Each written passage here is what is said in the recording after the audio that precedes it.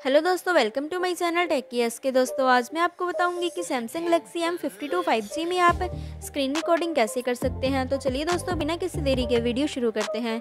इसके लिए दोस्तों, सबसे पहले आपको ऊपर से नीचे की ओर स्क्रॉल करके शटर को डाउन कर लेना है और यहाँ पे आप देख सकते हैं, आपको ऑप्शन मिल जाएगी स्क्रीन रिकॉर्डर की। आपको सिंपली इस पर क्लिक करना है तो स्क्रीन रिकॉर्डिंग स्टार्ट हो जाएगी।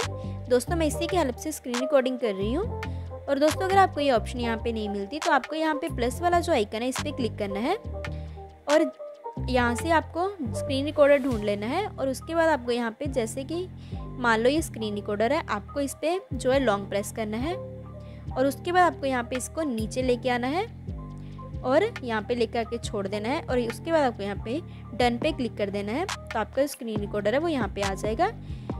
और दोस्तों, अगर आपको स्क्रीन रिकॉर्डिंग की सेटिंग्स करनी है तो आपको यहाँ पे स्क्रीन रिकॉर्डर पे लॉन्ग प्रेस करना है। तो इसकी सेटिंग्स ओपन हो जाएगी। वहाँ से आपको जो भी सेटिंग करनी है, वहाँ से आप कर सकते हैं।